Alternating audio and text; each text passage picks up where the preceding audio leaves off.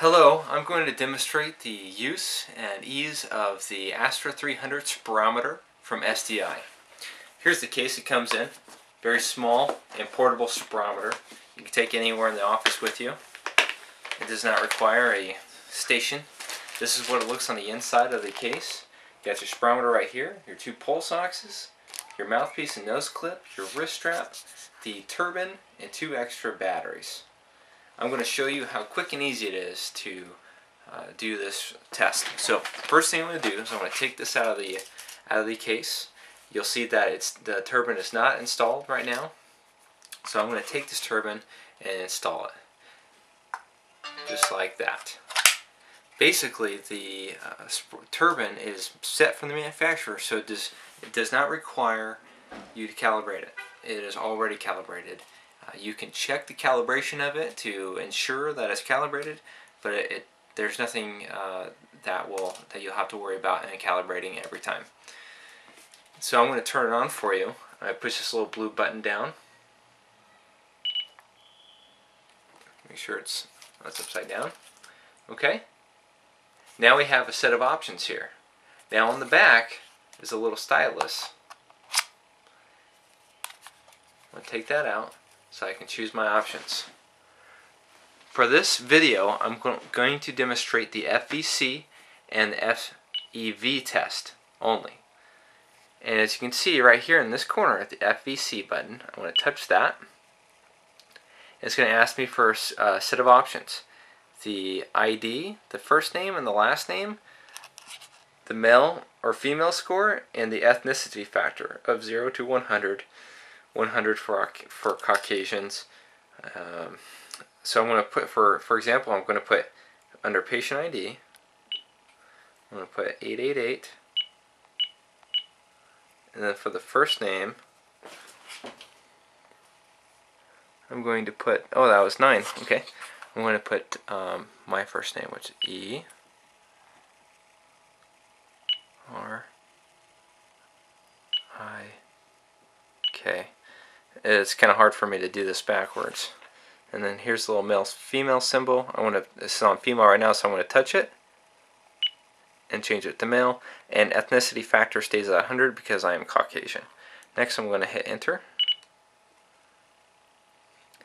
The next set of options I have, and the last set of options, is my age, height in inches, weight in pounds, if I'm a smoker and how many years have I smoked, and how many cigarettes a day I've smoked, and the name of the technician. So in this case, uh, for the age, I'm going to put in my age, which is 27. Next, for inches in height, I'm going to put uh, 74. And next in pounds, I weigh 200. Oop. Have to redo that one. Okay, now I'm going to do uh, put 200 for weight. And uh, I'm going to leave that zero for smoking years and cigarettes a day because I do not smoke. And then the box for the name of the technician, right now uh, it says E, and that's for us uh, initial of my first name. I'm just going to leave it that way. Now I'm done, I'm going to hit enter. Now is ready for me to do the test. So uh, right now you can see this little picture of the man, a little stick figure sitting down at a looks like a desk. When I'm ready to perform the test, I put I touch this button right here. As you can see, the markers are already set on the line graph uh, for where it expects me to to uh, perform my score. Okay, now I'm going to uh, prepare the test.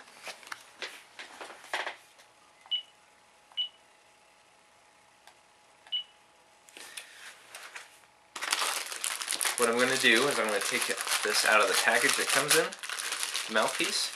As you can see real quick, before I put that on there, it has a filter inside, so in case anything comes out of the patient's mouth, it is caught by that filter.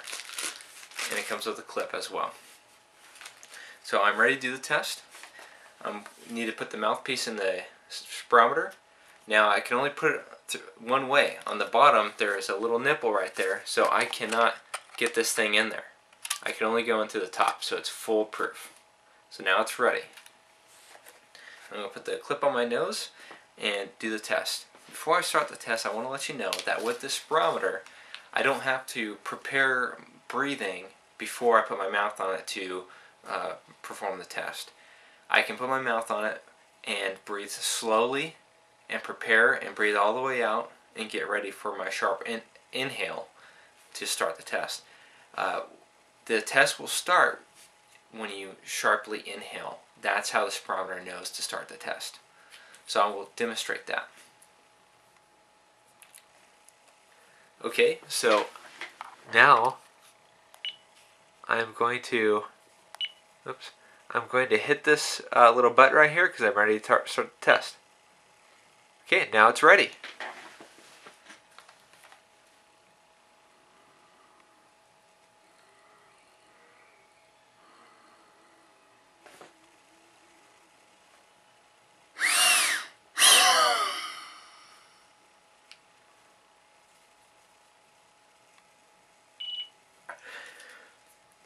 Did you hear the beep?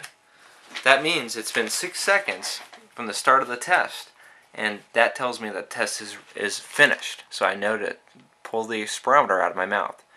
And you can see there the line graph is filled out, and it's right along the markers where it expected me to perform. And up here in the corner shows a uh, kind of summary of the result of the test. Now, if I want to see a little more specifically, right here on the spot, I just hit this box, and it has a full layout of all the scores of my FVC and FEV and even at the bottom will tell me my approximate lung age. As you can see here I was over 100% on all my values. Now uh, if I want to have an, this device interpret it real quick for me I have to do is uh, touch this little do doctor's face with the magnifying glass on the on the uh, on his head and it says the interpretation is normal. So I escape. Now I want to save this. So I go over to this file cabinet, touch the file cabinet. Now I ask if I want to do if I want to save it for uh, pre and post bronchodilator challenge, or if I just want to save it as one single uh, test. And for in this case, I just want to save it as a single test. So I'm going to touch this file cabinet. It is now saved. If I want to view it later or send it uh, over the Bluetooth to the computer, I hit exit. Hit exit again, go back to the main menu. I go to this file cabinet right here to pull it up, or or, or I click on Bluetooth right here to send it send all the uh, the data over to the computer wirelessly. So that was that finishes my demonstration of the Astra 300 spirometer from SDI. I hope that was uh, easy for you to understand. Uh, it took a little bit longer because I had to demonstrate all the uh, you know the processes of using this device. But once you get it down, you should be able to do your spirometry tests in about one minute per patient.